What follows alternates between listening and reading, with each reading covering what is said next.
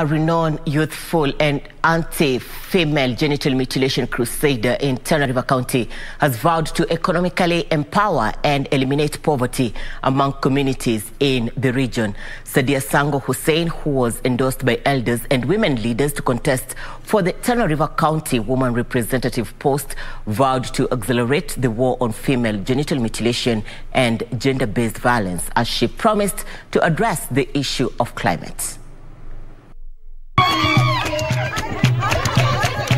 In a colorful ceremony held at Gafuru Primary School in Tana River North Sub-County,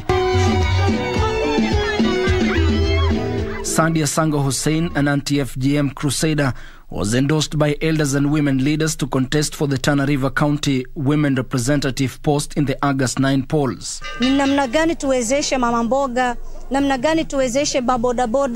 na namna gani tunaweza kuwezesha kila mtu awe kufaidisha um, Tana River kwa ujumla bila kuangalia kabila.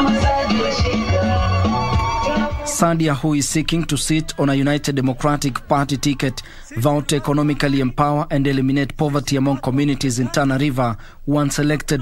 Tunachapa eh, vyombo vya mahabari kwa sababu ya eh, kwa sababu ya sijui ukame, njaa. Ukisikia eh, ng'ombe zimekufa zote, utaona ni Tana River. Saa hii wafugaji wamepoteza mifugo zao zote, na kama wamama ungekuwa kona uwezo tungekuwa tumesonga mbele sana kimaendeleo. Sandia received the Presidential Commendation Award during the Mashujaa Day celebration last year in Mombasa for her anti-FGM campaigns. Kura inapigwa na wamama, wazee wanatuongezea tu. Mimi nasema kila mtu pahali anakaa, kama mtoto wako hana kura, hakikisha ame, amepata kura.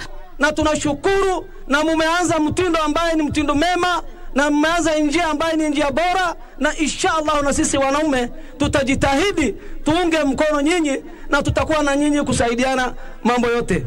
During the ceremony, elders and women leaders called on Tana River residents to shun tribal voting, which they claimed has caused the county to lag behind in development and fight against corruption.